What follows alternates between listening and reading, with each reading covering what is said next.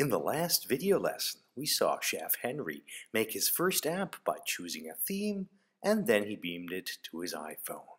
Though it looked quite impressive, it still needed some stuff inside, like photos.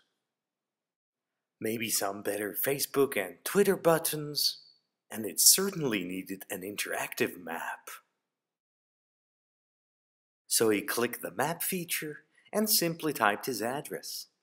The program magically made a map for him. The pizza wasn't for Henry. Let's change that, he said, and clicked the icon feature. He'd made a new logo earlier on his computer. So he looked for it, found it, and added it to his app. It was time to send those changes to his iPhone.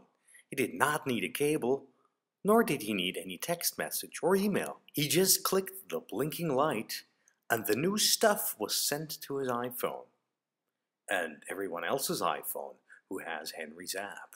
You can even watch it update.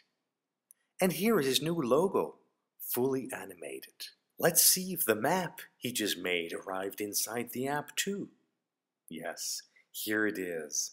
Henry's ready to add the last few features to his app in the next video lesson. But before that, he checks to see if it's true. Yes, the annoying pizza is gone. His logo is now the button on the iPhone's main screen.